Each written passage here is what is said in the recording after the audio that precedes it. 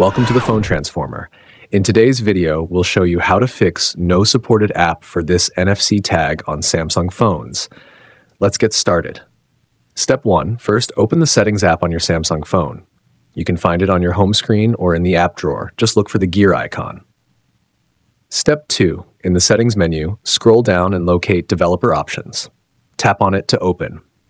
If you don't see it, don't worry. You may need to enable it first by going to About Phone, tapping Software Information, and then tapping Build Number seven times. Step 3.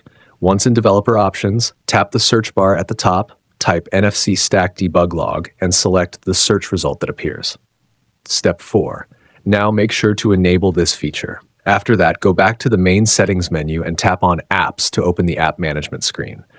Step 5. Inside the Apps menu, tap the three dot menu icon in the top right corner, then enable Show System Apps. This will reveal hidden system applications. Step 6. Next, tap the search bar, type NFC, and select the search result.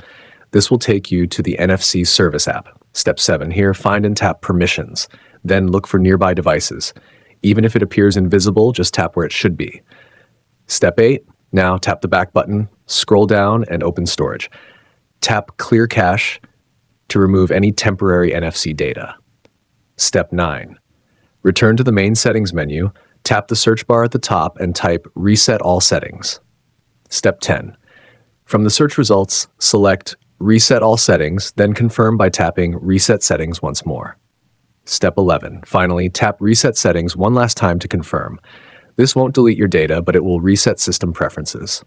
Thanks for watching, and please subscribe to the channel.